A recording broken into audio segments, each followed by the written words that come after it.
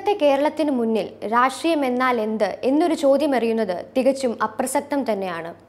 ഒരു രാഷ്ട്രത്തെ മുന്നോട്ട് നയിക്കുന്ന പ്രവൃത്തികളെയാണല്ലോ നാം രാഷ്ട്രീയം എന്നതുകൊണ്ട് ഉദ്ദേശിക്കുന്നത്. എന്നാൽ ആ നിർവചനം തിരുത്തേണ്ട കാലം അതിക്രമിച്ചിരിക്കുകയാണ്. രാഷ്ട്രീയം രാഷ്ട്രത്തെ സംരക്ഷിക്കാനും വളർത്താനുമുള്ളതാണ്. മറിച്ച് രാഷ്ട്രീയ നേതാക്കളുടെ ഉന്നമനത്തിനു വേണ്ടിയുള്ളതല്ല. പകപോക്കലിനും സാമ്പത്തിക ഭദ്രതയ്ക്കും അധികാരത്തിനു വേണ്ടി മാത്രമുള്ള ഒരു മാധ്യമമായി രാഷ്ട്രീയത്തെ കാണുന്നത് രാഷ്ട്രീയ നേതാക്കൾ അവസാനിപ്പിക്കണം. രാഷ്ട്രീയമില്ലാത്ത ഒരു മേഖലയും നമ്മുടെ സമൂഹത്തിൽ നിലവിലില്ല. നിലനിൽക്കില്ല എന്നുള്ളതാണ് സത്യം. സരസ്വതി ക്ഷേത്രങ്ങളെന്നാണല്ലോ നാം കലാലയങ്ങളെ വിശേഷിപ്പിക്കാറുള്ളത്. എന്നാൽ കേരളത്തിലെ ആ കലാലയങ്ങൾ ഇന്ന് കുരുതിക്കളങ്ങളായി മാറിയിരിക്കുകയാണ്. രാഷ്ട്രീയ പകപോക്കലിനുള്ളൊരു വേദിയായി കലാലയങ്ങളെ രാഷ്ട്രീയ നേതാക്കൾ കണ്ടു തുടങ്ങിയിരിക്കുന്നുവെന്ന് ഇതിൽ നിന്നും വ്യക്തമാണ്. രാഷ്ട്രം എന്ന വികാരമാണ് ഓരോ മനുഷ്യന്റെയും സിരകളിൽ കൂടി ഓടേണ്ടത്. അല്ലാതെ രാഷ്ട്രീയം എന്ന മനോഭാവത്തെ ആരും താലോലിക്കരുത്. ഒരു കലാലയത്തിന് രാഷ്ട്രീയത്തിന്റെ ആവശ്യമുണ്ടോ? രാഷ്ട്രീയ നേതാക്കളുടെയും രാഷ്ട്രീയ പാർട്ടികളുടെയും ആവശ്യമുണ്ടോ?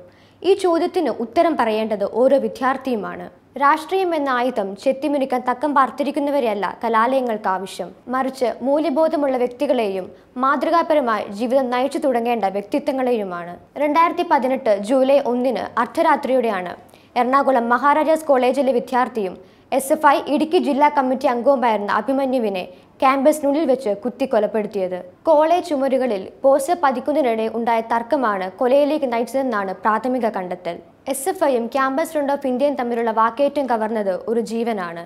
നാളത്തെ ഒരു നല്ല രാഷ്ട്രീയ നേതാവിനെയാണ്. കഴിഞ്ഞ ദിവസങ്ങളിൽ കേരള യൂണിവേഴ്സിറ്റി ക്യാമ്പസിലും സമാനമായ ഒരു സംഭവം നടന്നിരുന്നു.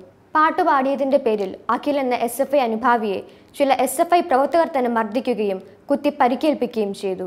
സംഘർഷാവസ്ഥ തുടരുന്ന സാഹചര്യത്തിൽ ക്യാമ്പസിനുള്ളിലെ എല്ലാ പ്രവർത്തനങ്ങളും നിശ്ചലമായി. രാഷ്ട്രീയത്തിന്റെ പേരും പറഞ്ഞ് ക്യാമ്പസിനുള്ളിൽ നടമാടിക്കൊണ്ടിരിക്കുന്ന പല കൊള്ളരുതായ്മകളും ഇന്ന് വെളിച്ചത്ത് വന്നുകൊണ്ടിരിക്കുകയാണ്. ക്യാമ്പസിനുള്ളിലെ യൂണിയൻ ഓഫീസിന് പോലും ഇന്ന് പൂട്ടി വീണിരിക്കുകയാണ്. യൂണിയൻ മുറി ക്ലാസ് റൂം ആക്കാനുള്ള തീരുമാനവും നിലവിൽ വന്നിരിക്കുന്നു. ഈ അവസരത്തെ വേണ്ടവിധം പ്രയോജനപ്പെടുത്താൻ കെ എസ് യു മറന്നില്ല.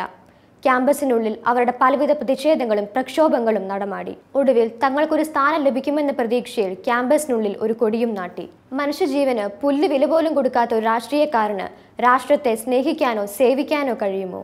രാഷ്ട്രീയത്തെ പല കോളേജുകളും ഇന്ന് പടിക്ക് പുറത്തു നിർത്തുന്നത് ഈ കാരണങ്ങൾ കൊണ്ട് തന്നെയാണ്. കലാലയങ്ങൾ കലകളെയും പഠനത്തെയും വ്യക്തിത്വ വികസനത്തെയുമാണ് പ്രോത്സാഹിപ്പിക്കേണ്ടത്. ഓരോ കലാലയവും ഒരു വിദ്യാർത്ഥിക്ക് പാഠപുസ്തകമാകണം. വർഷങ്ങൾക്ക് മുമ്പുള്ള കലാലയ രാഷ്ട്രീയം ഇന്ന് നിറമുള്ള ഒരു സ്വപ്നം മാത്രമായി മാറിയിരിക്കുകയാണ്. വിദ്യാർത്ഥികളുടെ ന്യായമായ ഏതൊരാവശ്യത്തിനും ഒറ്റക്കെട്ടായി പോരാടിയ രാഷ്ട്രീയക്കാരായിരുന്നു അവർ. ഒരു കാലത്ത് ഏറ്റവും നല്ല രാഷ്ട്രീയ നേതാക്കളുടെ രൂപീകരണം നടന്നിരുന്നത് കലാലയങ്ങളിലാണ്. അതുകൊണ്ട് തന്നെ കലാലയ രാഷ്ട്രീയത്തെ പൂർണമായി ഒഴിവാക്കുവാൻ നമുക്ക് സാധിക്കില്ല. എന്നാൽ ഇന്നത്തെ ഈ രീതിയിലാണ് കലാലയ രാഷ്ട്രീയം മുന്നോട്ട് പോകുന്നതെങ്കിൽ ഇതിന്റെ യഥാർത്ഥ ഉദ്ദേശം അപ്രസക്തമാകുമെന്നതിൽ സംശയമില്ല. യഥാർത്ഥ കലാലയ രാഷ്ട്രീയത്തിന്റെ അന്തസ്സത തിരിച്ചറിയുന്നവരാകട്ടെ കലാലയ യൗവനങ്ങൾ.